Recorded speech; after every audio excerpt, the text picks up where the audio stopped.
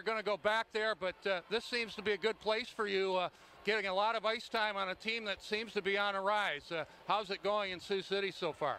Yeah, it's been uh, it's been great so far. I got in there uh, just after Christmas, and you guys have been awesome. They welcomed me right away, and I think uh, get a lot of ice time. That's been great for me. my confidence level. I think it's just it's been great so far.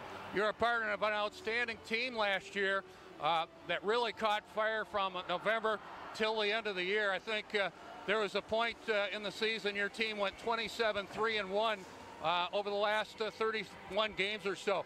What sparked uh, that good play in your mind? I know it was a real team effort, but how did you see it? Yeah, I think first half of the year we struggled a little bit playing all the college teams, and I think that just kind of built us up for the second half of the year because the second half was mostly USHL, and then we got into international play, and that's uh, the big tournament at the end that really kind of caught our eyes there, and then we just kind of wanted to go for that.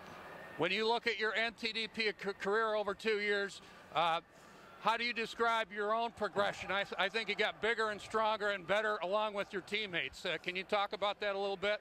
Yeah, the program's awesome. Um, going in, young 16-year-old junior in high school, um, you're coming in playing against men in the USHL, and I think that's just a big thing. Um, they're a lot stronger, so you got to be forced to play. And then uh, 18 year, play all the colleges, college teams, and that's just another step up, and that just gets you more prepared. Now you're in Sioux City, Iowa.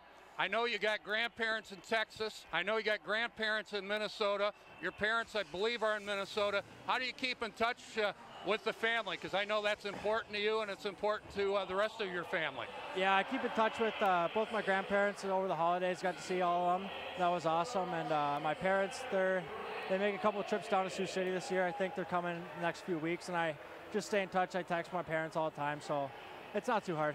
Last thing, uh, if, if you were to talk to me about uh, the NTDP and maybe talk to some young hockey players out there, what would you tell them about uh, trying to join this program? There's no place better. It's uh, it's unbelievable.